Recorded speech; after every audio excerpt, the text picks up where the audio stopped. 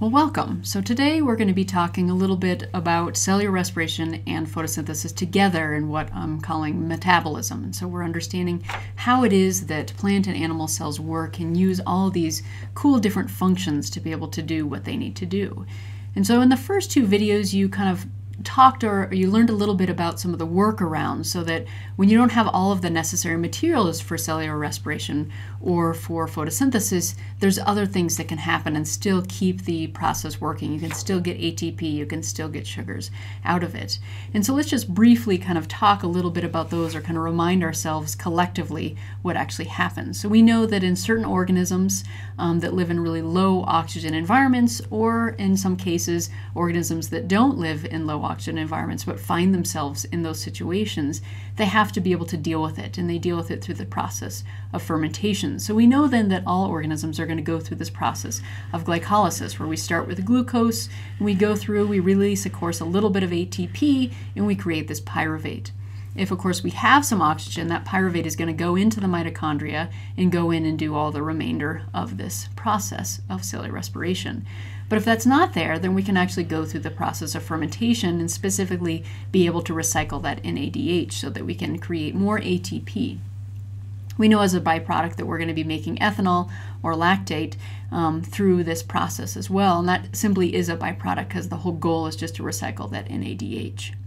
And so we know that that's kind of one exception to um, this process of cellular respiration if we don't have oxygen. And that can keep some organisms going for a little bit until they can get oxygen, or for some kind of smaller, short lived organisms, that's entirely how they subsist.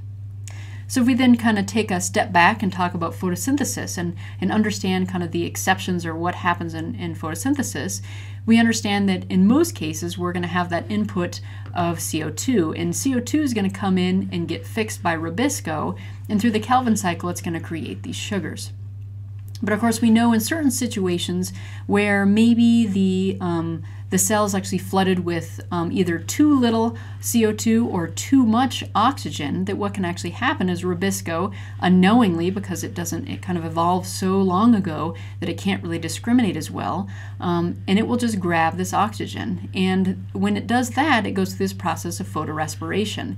And the bad thing about that is that it kind of wastes things. It wastes carbon through the process of releasing CO2, it wastes ATP, and it uh, wastes other resources, and it never actually makes the sugar.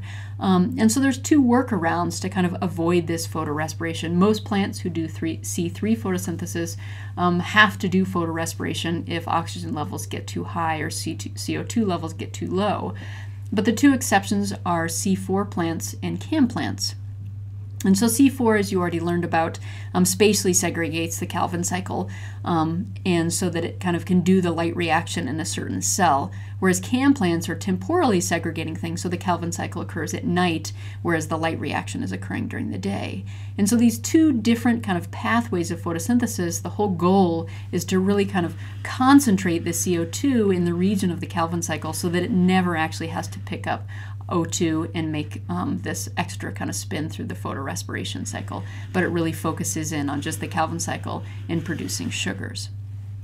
And so now we can kind of put some of these ideas together and kind of understand kind of all the pieces that an organism may do. We have this idea of photosynthesis and this idea of cellular respiration. And if we think about ourselves, we clearly know that we are doing cellular respiration. That is a key process is to take the sugars we consume to break them down and to get ATP as our energy. And many of us already know the fact that we, even though it would be wonderful, we cannot do photosynthesis. That is not um, within our capabilities. But one of the kind of real um, questions is what are plants able to do? And so if we have this question, we think about which of the following is true, we should consider, is it that plants are only doing cellular respiration?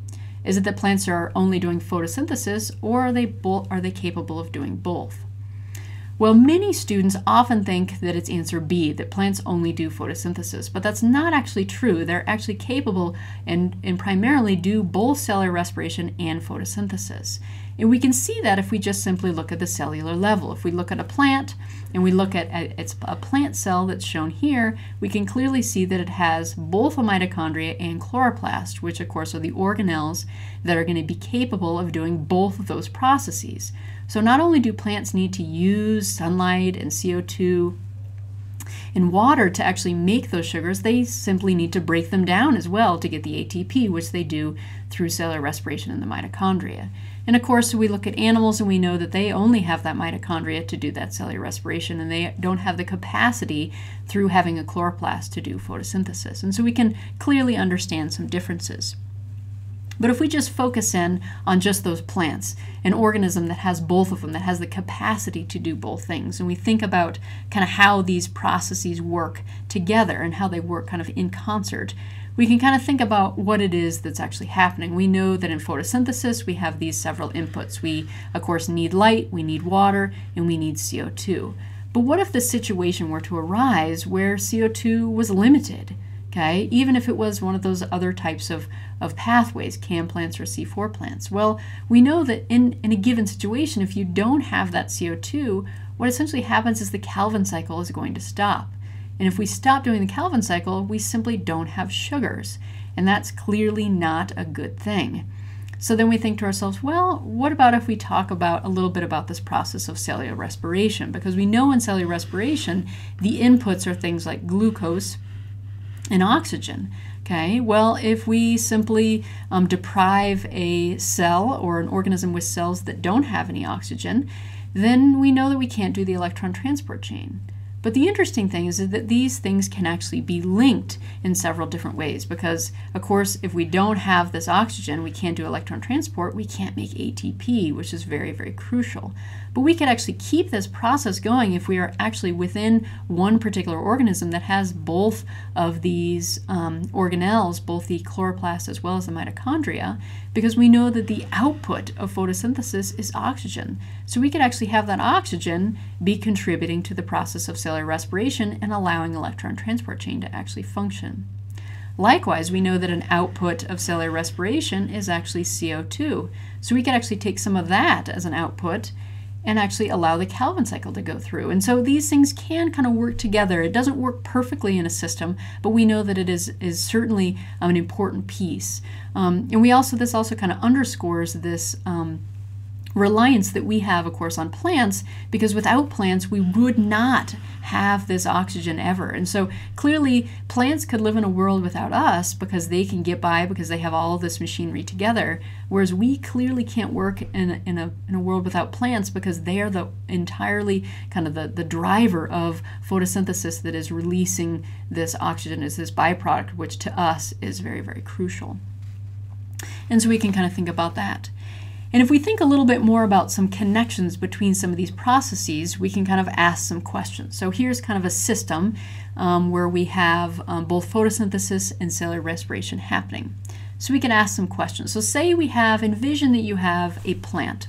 And we take a plant and it's not aquatic, it usually lives on land, say maybe it's a sunflower or something like that and we immerse it in water. Okay, so it's immersed completely in water, has no access to air.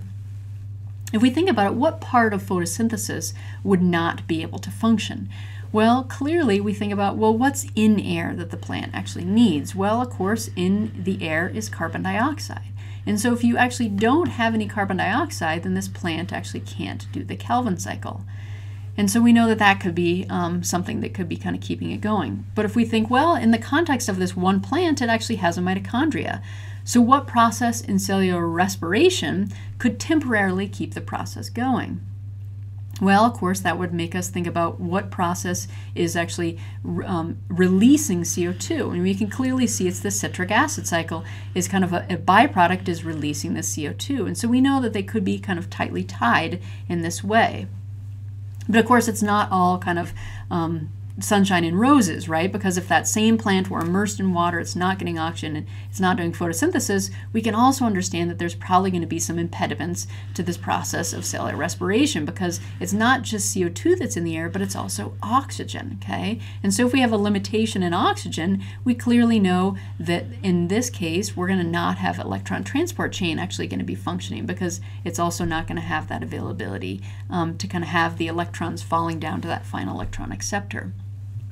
But of course, we could say, well, what part of the photosynthesis process could actually keep that going? And we know that the it's the um, light reactions are actually evolving um, oxygen that by breaking this water, and that could actually help keep this going. And so, for a limited amount of time, this thing kind of kind of keep itself going, um, but it will eventually kind of um, not keep working. And so, that's a good thing to to know because we know that essentially what would end up end up happening is that if it can't keep going, that glycolysis is going to kind of start saying, well, if we don't have any oxygen to kind of drive this electron transport chain, then glycolysis is going to kind of go across and start doing fermentation instead.